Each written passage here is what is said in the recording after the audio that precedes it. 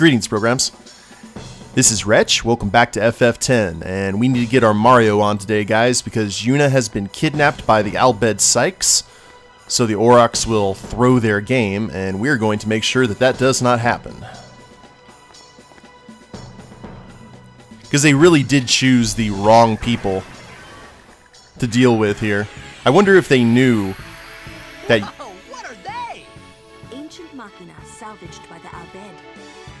mostly vulnerable to lightning.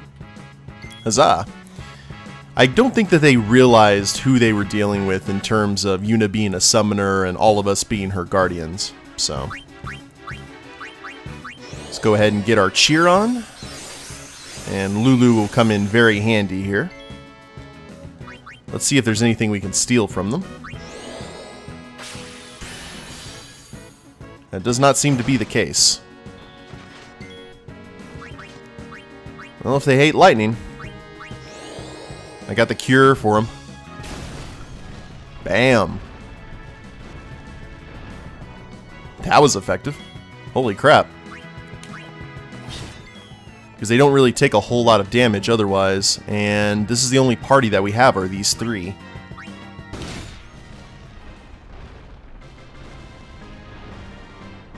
Because Wakka's playing the game and Yuna is otherwise occupied. And we got some sphere grid action going here.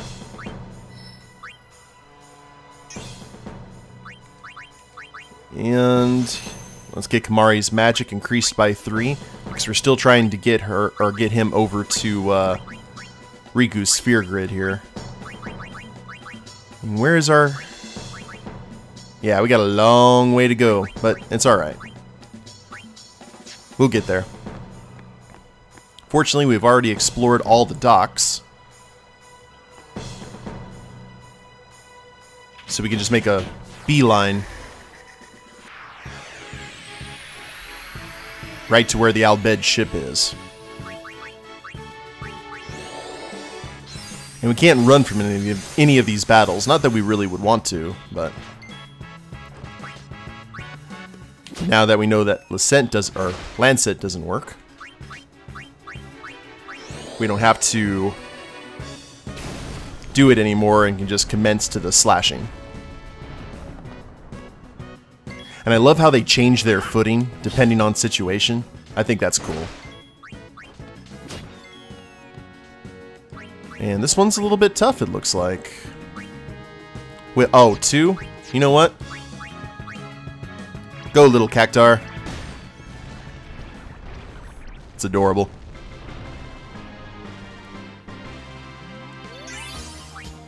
And Lulu has leveled up. We're getting a lot of high potions here too, so that's good.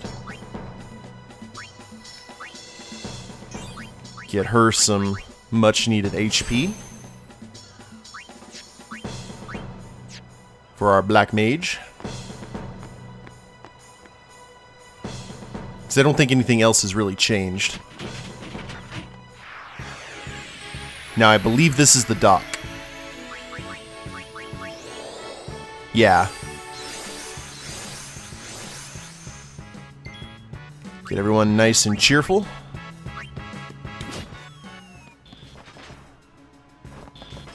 Good dodge there, Tidus. At least we got that one-shot kill with Lulu here.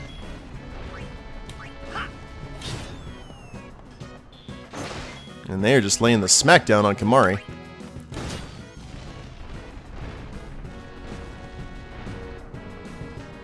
What's up with these guys? Eh. They do a little bit of a hurting, but we got plenty of potions, so...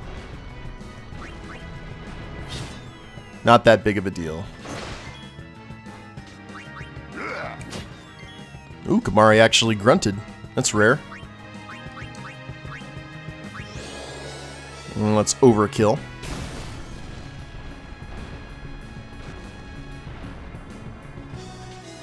Were expecting us. Well, maybe they were very aware of who uh, Yuna was.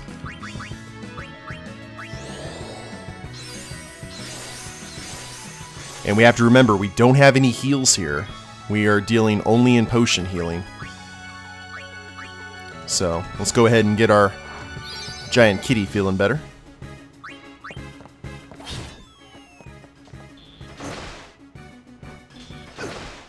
You seem to be focusing more on Kimahri. Fortunately, they're not really attacking Lulu, which is strange considering the fact that she's the one who can one-shot them. Not complaining, mind you. And due to the fact that we just changed pos our position there, means that that was the end of this fight, I think. Yep, good stuff. Ooh, we got some X potions, too.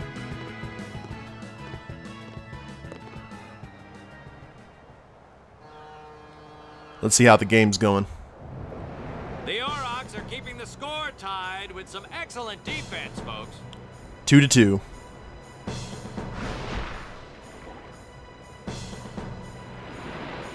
Oh, he'll feel that one in the morning. Ah, but the referee doesn't call the foul. Wakka's taking a real beating out there. I figure getting knocked out underwater would be a really bad thing. Still in there. He won't last. Wakka's always like that.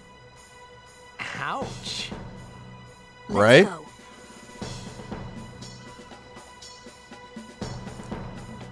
Lulu's got no faith in the Wakka.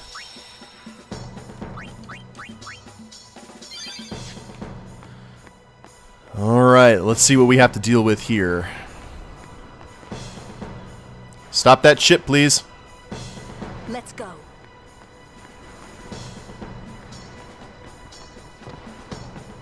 Superior jumping power. Wonder how Lulu can jump in that dress of hers.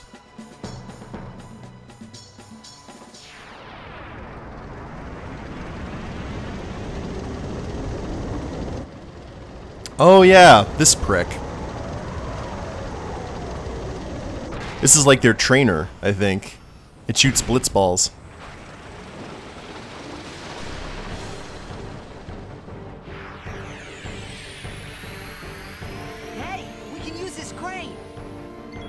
Alright, cool. That is what we need to try and do. Activate crane. It doesn't have any power though at the moment, but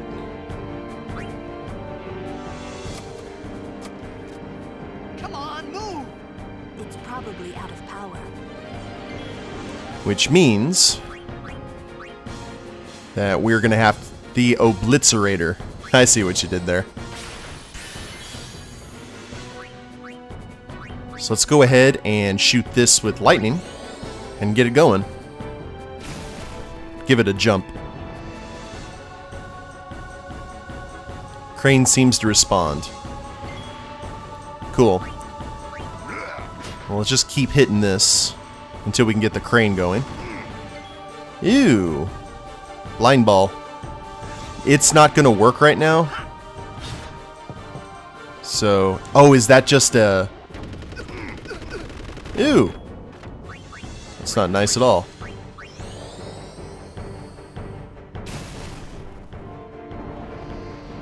Get it going.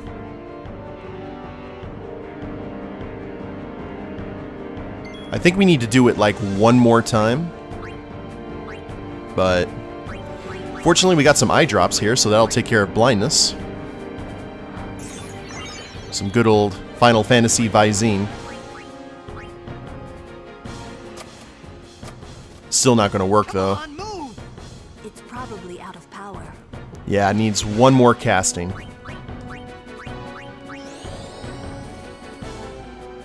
It's like revving a lawnmower. There we go.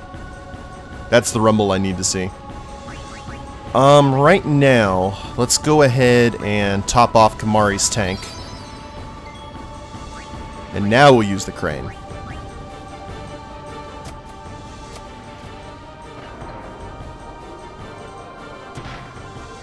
It's like playing uh, the crane games at arcades and movie theaters. I'm kind of obsessed with those in real life. I love to play those. I have no need for stuffed animals of any way, shape, or form, but... Ooh, that did a lot of damage. I like that. Now, with 351 to go, let's finish him off.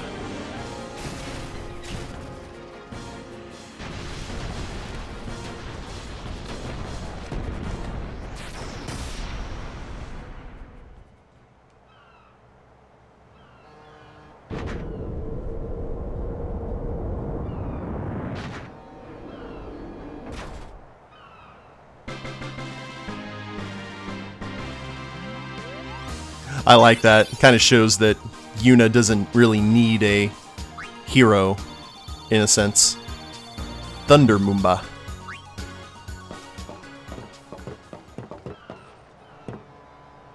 I hope you hurt them. A little.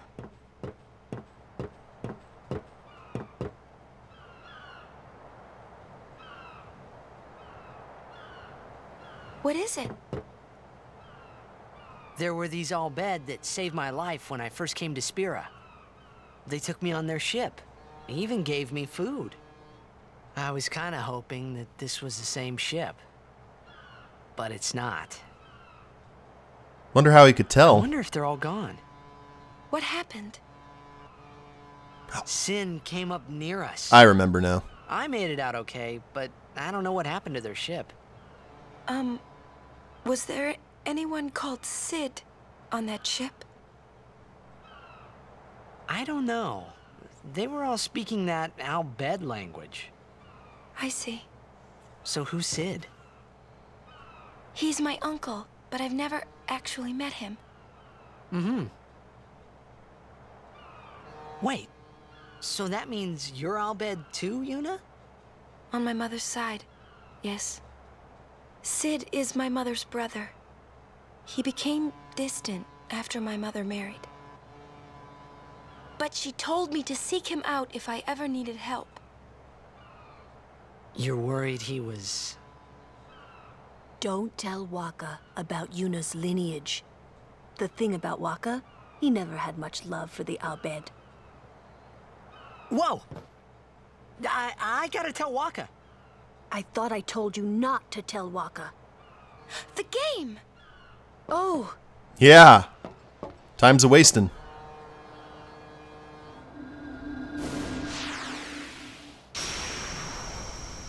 Send up the flare. Now the ship that that Rikku was on had like an awning with a bunch of cargo on deck. So 30 seconds left. The Aurochs are launching an all-out offensive. that's a bold move, Cotton. We'll see if it pays off.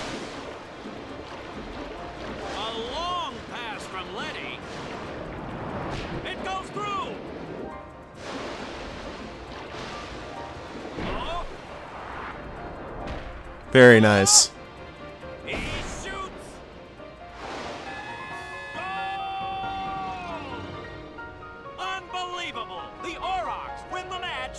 2. And they didn't need Tidus, which is awesome.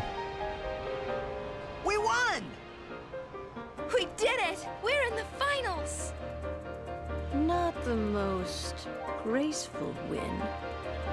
If it was Chappu, he'd still be standing. Hey, aren't you being just a little unfair? Excuse me? I know I could never take Chappu's place. You're the one who told Wakka that, right, Lulu? And I don't think Wakka would ever try to take Chappu's... You don't want to finish that sentence. You are in danger. Well, Yuna's been rescued, that's good. And that also explains her, her dual heritage, is why I believe one eye is a different color. I'll have these crates moved in no time, sir. So this way must have been blocked um, if we had tried to go this way. That makes sense.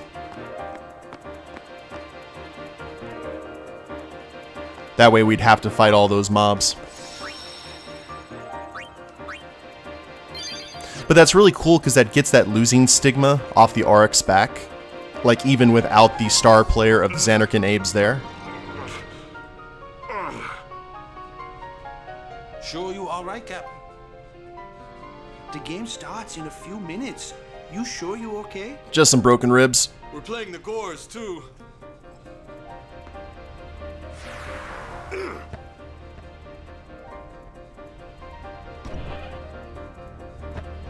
Miss me?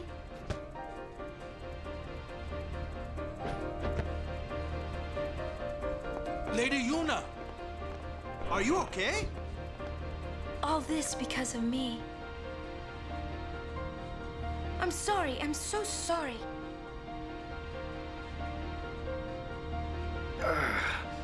How can you let some Al Bhed kidnap you? Hey, let it go, all right? Go near Al Bhed anymore, okay? They're trouble. Really makes you think what's going to happen when Wakka meets Rikku, or finds out about Yuna's lineage. So Kimahri's going to make sure that Yuna doesn't leave his sight. Let's go ahead and explore... Oh crap, we can't. So it is indeed game time. They're giving us an opportunity to talk a little bit beforehand. Please, don't tell anyone about Yuna's lineage. Yeah, you got that. Yuna will be watching, gotta play hard. Now, if I remember, he's actually the weak link. Keepa is. He is not a very good Keepa. Who's warming the bench? Could it be me? Yeah, they're all upset. Now, if I talk to Wakka, I believe that starts the Blitzball game, and that's going to be an entire episode in itself, guys. We're running a little bit light here. Uh, last minute, but you want to go over the rules. Sure. Trying to remember here. Moving, action commands, passing, shooting, using HP, encounters, breakthroughs, tech copy, stats, status ailments, techniques, game modes. Now, let's just go ahead. I just kind of need to see the refresh. In Blitzball, there are five players per team in the sphere pool. Alright, so up there on the top right hand side, you see HP, Endurance, Passing, and Shoot. I remember now. So the HP is how much you have to use special abilities. The endurance is how hard you can take a shot, and you may be taking on multiple people, so you have to kind of choose wisely if you want to get hit by them or not, because it does lower your endurance per encounter. Your passing, that's kind of self explanatory. If you pass and someone decides to block the shot, if they have a higher passing or a higher um, block, they can potentially uh, intercept the ball. And shooting, it's your shooting strength against the goalies. And I believe as you pass and shoot, the more distance it covers, your passing and shooting actually goes down. So the closer you are to someone, the better. The overhead map shows all players' current positions and the direction each is facing. Here only one team is shown on the field. Tidus is carrying the ball now. You can see who's carrying the ball there on the radar.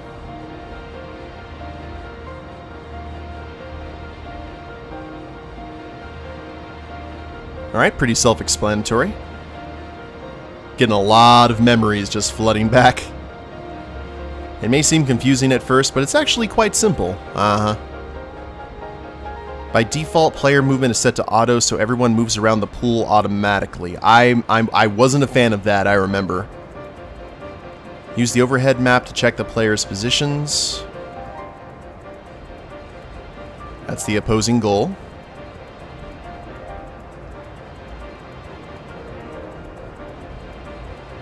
And I believe there's a way to switch this to manual movement. Let's try moving the ball carrier manually. Stellar. Just getting a little bit of knowledge here before we get into the game. Press Y. Manual A. And now I'm actually controlling Tidus, not the computer.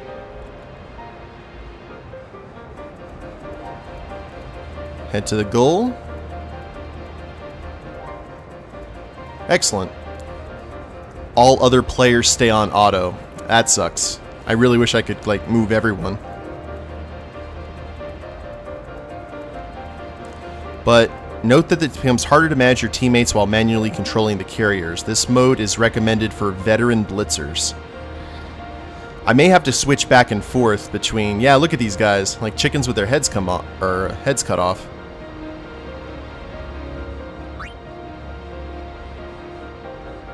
So I may have to use the auto movement in certain situations. Hmm. Get a feel for both modes. Yeah. So like if I'm here, if I'm close to the goal, I'd switch to uh, manual. Otherwise, auto would probably be the way to go. Um, in manual A mode, the direction of movement corresponds to the overhead map. Manual A, there's a also a mode called manual B. Stick with auto movement for now. Movement modes are only applicable when you're on offense. When you're on defense, your entire team moves on auto. Hmm. I wonder what manual B is. Now, everything else here, I think I have a good um, handle on. I guess we'll find out in the next episode, guys, because we are going to have our match against the Luca Goers. And we have the Jecht shot, which is awesome, but I don't remember getting that during the first half, because we have to do like a level up or something. But I'll go ahead and save the game, and we will see you guys next time. If you liked the video and Yuna's rescue, please leave a like down below. Subscribe to the channel, leave a comment, that'd be a big help. I will see you next time. Later days, everyone.